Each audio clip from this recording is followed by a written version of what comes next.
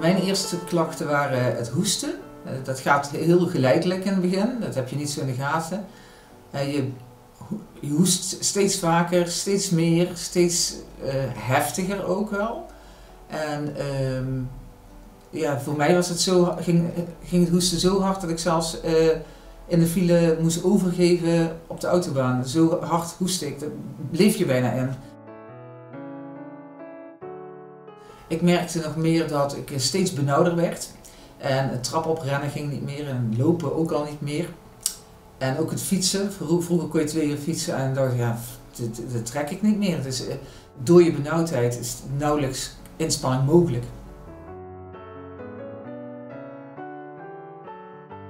Ja, ik rookte in die periode nog.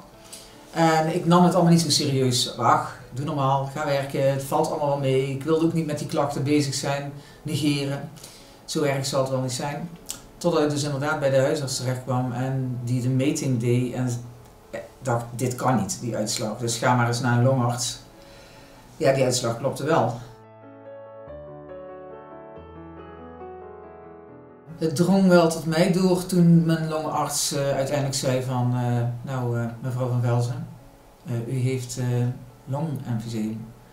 Toen, ja, dan schrik je, je weet niet wat het is, je weet niet wat de klachten zijn, je denkt, kan ik daar een pilletje voor krijgen? Ja, dan, toen wist ik wel, nou, dit is, dit is serieus, nu moet ik iets gaan doen. Als ik het eerder had geweten, um, dan had ik uh, veel eerder gestopt met roken. En zeker als je dan ook gelijk hulp aangeboden krijgt van een longarts of via een longarts, dat je een niet oordelende stopcoach uh, krijgt. Want stop met roken is gewoon heel erg moeilijk. Dat weten we allemaal. En ja, dan was ik eerder kunnen stoppen. Um, waardoor ik ook uh, meer longinhoud over had gehad. En misschien zelfs had kunnen werken. Dat zou heel fijn geweest zijn.